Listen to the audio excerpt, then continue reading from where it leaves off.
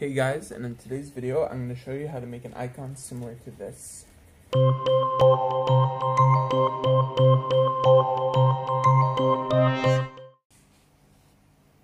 Make it 512 by 512 and then we can resize it after.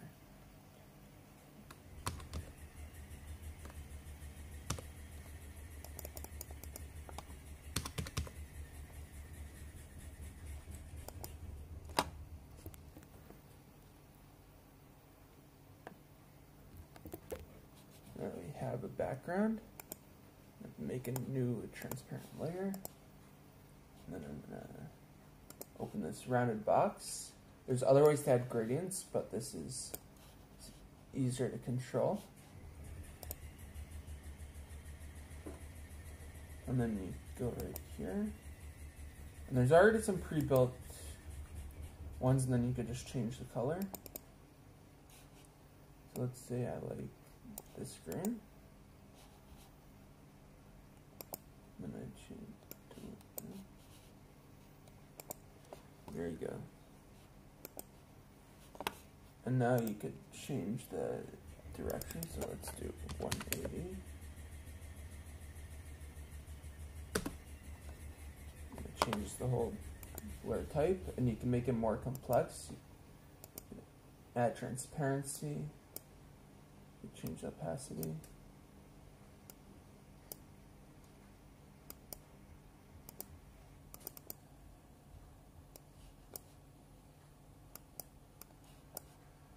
Things like that. One layer, you can change the scale. Do some very cool things. And then let's make some text.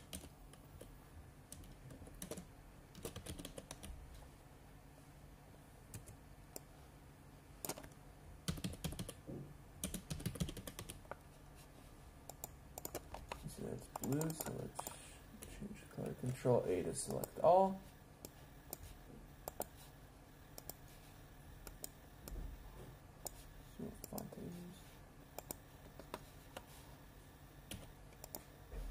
I Cooper Hewitt, which is available online.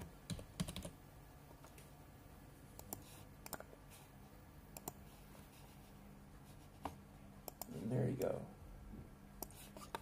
I'll show you a cool trick in addition to that. So you go over to Android Asset Studio, and then click Launch Icon. But first, let's save this.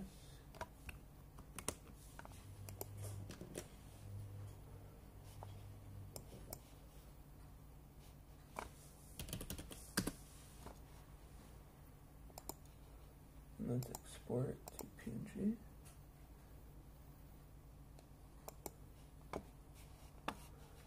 Now let's go back.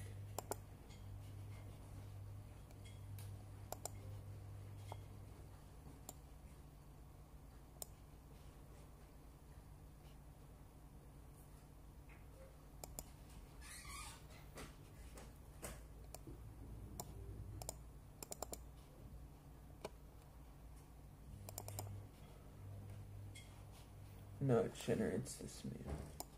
It's uh Now it looks like an icon. You could change the background. You could add some more settings. And it adds like a little shadow on some layers like this so it looks better. And you could click save and then you could just import into Android Studio. There's some other features as well. I'm going to leave the link in the description. Thank you for watching and have a great day.